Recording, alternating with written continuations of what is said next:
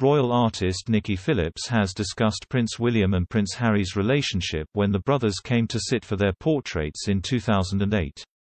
Ms. Philipps was commissioned to paint the Dukes for the National Portrait Gallery and told the latest episode of ITV's Keeping Up with the Aristocrats that at the time the brothers were so close.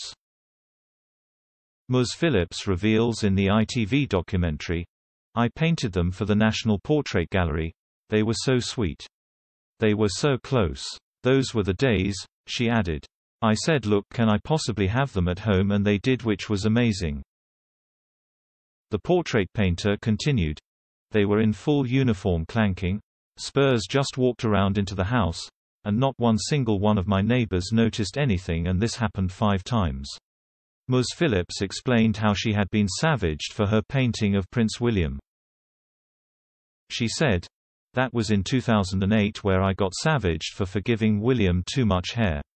I think poor chap lost quite a lot of it in 2009. I don't know what happened then but it all fell out.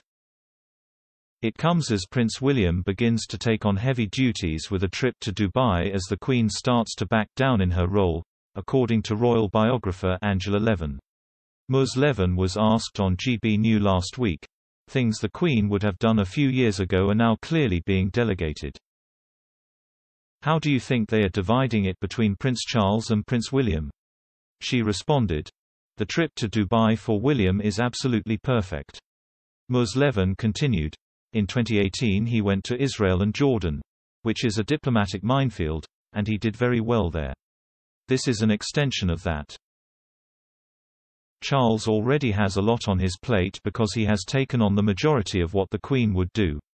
It works well for both of them that William takes this on.